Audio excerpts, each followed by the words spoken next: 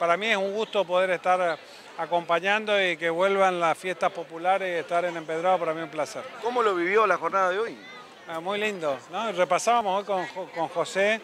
la cantidad de obras que hicimos ¿no? en este tiempo, cloacas, asfalto, la segunda entrada de Empedrado, que la verdad ahora la voy a ir a ver porque no la vi, no la vi terminada, pasé un par de veces incógnito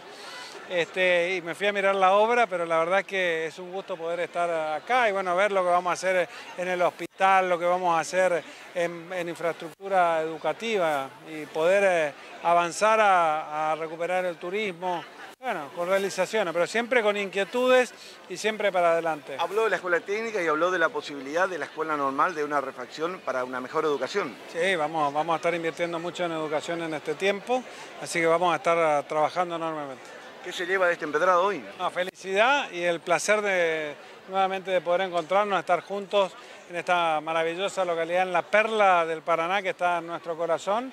Así que para mí un gusto volver a estar en Empedrado. Doctor, en la antesala de los 200 años de este pueblo, bueno, también aquí firmando convenios, sobre todo en, soluciones habitacionales, más allá de horas viales, algo que es muy importante para la comunidad. Bueno, bueno con Oñón Bay, con, con asfalto, con cordón cuneta, con realizaciones, obra educativa, hospital, bueno, en general Vamos a venir a, seguir comprometiéndonos con Empedrado, estamos haciendo una muy buena gestión y estamos transformando Empedrado conjuntamente con José y por supuesto cuando Empedrado está mejor, la provincia está mejor. Pero no es cierto que es mucho mejor esta gestión que la gestión anterior porque tenemos visualización, empuje, fuerza y está a la vista, así que eh, se nota en la gente, en la calidez, en el saludo de que estamos yendo por un pueblo mejor. En su discurso, bueno,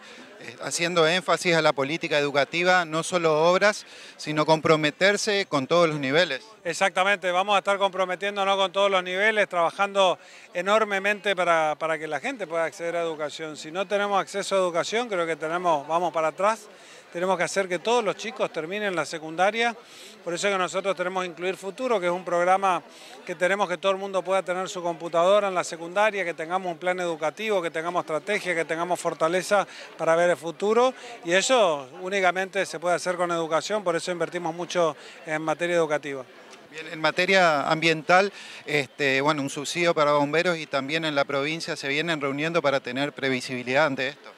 Bueno, uno puede prever, cuando uno tiene una catástrofe, eh, hace que por más de que uno prevea pues, que pueda salir de los estándares comunes, espero que no nos pase lo mismo que el año pasado, pero de igual forma estamos mejor preparados, pero si nos ocurre lo mismo vamos a tener que volver a solicitar ayuda a nación, ayuda a provincia, porque justamente es una catástrofe de una magnitud que ocurre en 60, 100 años, así que hay que estar preparados, pero puede volver a ocurrir por el cambio climático, está viniendo para quedarse y tenemos que estar atentos, concientizarnos y tenemos que tratar de bajar las emisiones de carbón, tratar